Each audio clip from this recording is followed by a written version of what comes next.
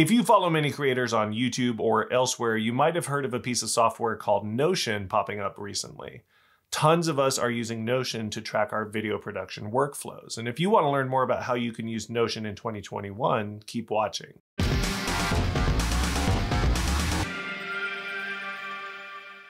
Notion is an organized workspace that a lot of creators use to keep track of all the insanity surrounding running a YouTube channel, especially for tracking video production notes. It's as if they took all the good parts of all the best productivity tools and put them together into a single app and then made it free. It's insane. And it's particularly good at tracking things that have a lot of moving pieces, which makes Notion amazing for video planning and video production tracking. I've just created a new account so you can get an idea what it's like to start from scratch.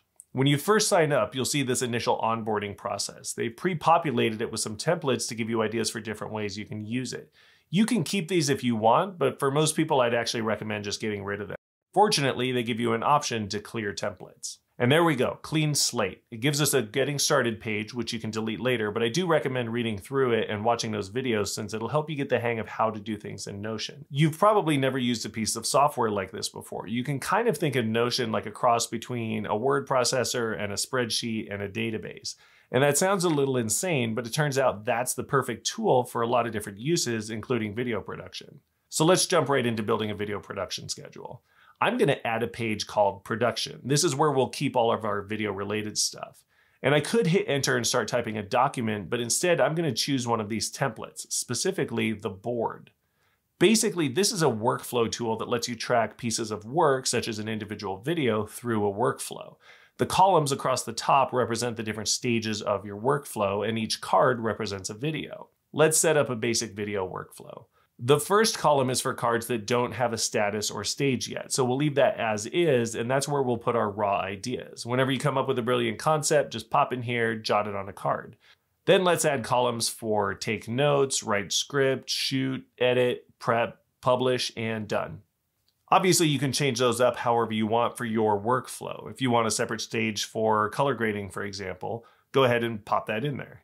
Let's add a quick video to see how this works. We'll call this one Sony a7 IV camera review. And there's a lot more we can do on this screen, so you'll want to keep watching, but for now, let's close it out.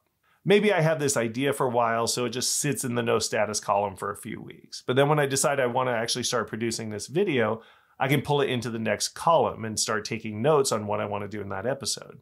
And at each stage, you move it down the line until it's all the way in the done column. This system actually lets you track dozens of videos that you might have in production at one time. It's really easy to keep everything straight this way. And working on multiple videos at a time can actually be really efficient. For example, if you have time to write, you can sit down and write multiple scripts at once.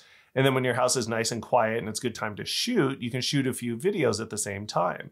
This can really streamline things. Now, this is another dynamic Notion page, which means that we can add text here just like we would in a Google Doc or a Word document, but we can also add subpages, additional databases, or whatever else we need. And it'll all live in that little card that moves from stage to stage. For example, let's say we want to keep our notes organized. Instead of typing them all here in the main document, we can actually add a separate page just for notes. Then we can put all our research and concepts and brainstorming there. And then when we click up here to go back to the main card, card, you'll see it added a page link to our notes. Nice and neat. You can also add things directly to this page if you want. So for example, if you wanted to add a list of B-roll shots you needed to film, you could add a heading and then a to-do list. And you can also add a list, a table, calendar, timeline, gallery, lots of things. You can upload media here if you want. Maybe you want to store your thumbnails in here, or maybe the music files you download that you want to use in the episode. Tweets, maps, Google Drive files, PDFs, almost anything else. It can all go here. But wait, there's more. If you want, you can also define custom properties for each card, or in this case, for each video. For example, let's make a top 10 drone hacks video. You'll need a drone for that, so let's add a property called gear, and then we'll add drone to this video. You could also add, say, locations. Maybe one of your drone hacks is going to be in the forest, so you add forest to the video. Now, when you're looking at your production board, you can filter your ideas by gear and location. If you're planning to go to the forest and you're bringing your drone, you could just add the appropriate filters and it'll show you which of your other videos you can shoot while you're there. Working on multiple videos at a time and doing similar footage together can make you way more efficient. Before I started this, for example, I found myself going out to the same locations over and over again to showcase how different gear performed.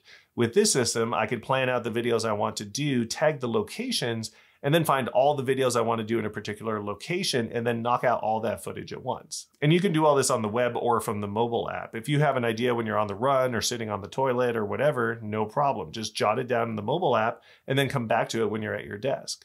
And Notion is free for personal use. That's insane. That means you can do everything I just showed you and it costs nothing at all. So why are you still here? Go sign up for Notion.